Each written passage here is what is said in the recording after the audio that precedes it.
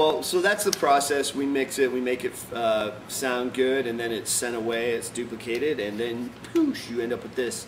Um, so we have it. It, it. It's nice and shrink wrapped and everything. What are some of your um, favorite moments of the CD? Uh, I have three very favorite moments. Uh, the first one is just the title track, "Lift Up Your Head." I think the song says exactly what we wanted to say in this season of E3. Is you know, despite your times where you're down and it hurts, I mean, God is still going to lift up your head and how strong He is and things like that. And I think it's just a great place to kick off the record and the general theme of the record. And uh, this record really just kind of has a great flow to it. There's there's a lot of up and down moments where there's some really high energy, and then there's also a lot of reflective moments. And Mm. uh, one song that's my personal favorite on the record, not just because I led it, that's kind of vain, but yeah, but "You Are God" is just a song that I connected with. Uh, Last January, before it was even released, I had been and seen Charlie Hall perform it live, and that song pretty much changed my entire view on uh, my Christian walk as a whole. Like it Mm. completely rocked my world completely. So uh, I, I had been determined to use this song in some way, shape, or form, and I think the fact that the bridge of "Life Flows from God" just kind of sums up everything that we're talking about on this record. Yeah. It's just one of those great, powerful moments. And then the other one would be "Nothing But the Blood." I think the the the groove tasticness of that is Mm. just. You get to that ending breakdown and it just goes crazy, and it's Yeah. just it's one of those just cool moments to be a rock and roll guy. Yeah. What about you, man? What do you think? Uh, I'll probably just limit it to, I think, Nothing But the Blood is probably uh, my favorite, but, but only for um, before a few. I've got tons of favorite moments, but I think Nothing But the Blood uh, really was Im- important for me because that was the first song that we kind of started realizing, hey, it actually worked. like we act, because you, you do projects like these and you record you know, whatever, you record these three days, you go through this huge effort, and then there's still no guarantee that you're going to get anything that's workable. and uh, and we really didn't have a take two on this. Right, right. Um, but that's just the way. I mean, that's just the way things work.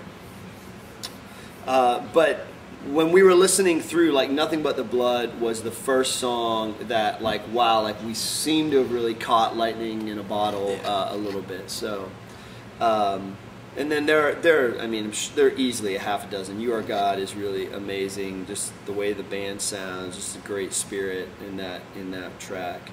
Um, but yeah, uh, we're really we're really happy.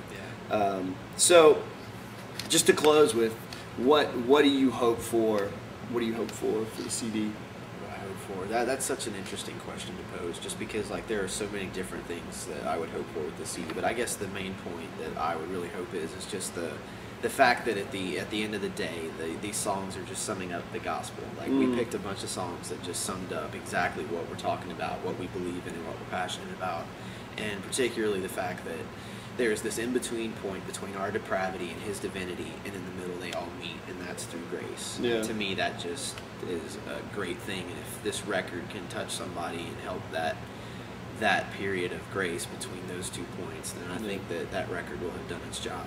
Yeah, I think for me, aside from the the millions that will rake in through it, The um, royalties. yes, the Licensing. royalties. licensing, merchandising. You know, I, I've been I've been signing autographs. Have you signed any I, I signed, I think, two. Were- Were you related to the people? Uh, I signed one for my mom. Okay, Yeah. Uh, no, we're kidding. We kid. Um, aside, uh, I, I think, yeah. I mean, ultimately, um, I think part of worship is just remembering God's faithfulness in, in times when you have no cause to remember His faith. Like like life is horrible. Everything about life is saying, you know. And just in those moments, if we could have done something on a CD that people remember, like, wow, there is a God and He cares about me. Um, and and and maybe they were a part of singing one of these nights, you know, just being encouraged by that. I think that was, I think that's one of the things I'd be uh, really hopeful for. So, uh, so anyway, there it is. It's available on the spinny rack thingy, which is I think what we call it. Yeah. Um, pick one up and enjoy it. And uh, I mean, we were blessed to be able to be a part of it and and lead or, or serve the community in this way. And we just hope that it blesses you guys as well. So Give one to your friends. give one to your friends. Yeah. Bye. Peace out. Peace.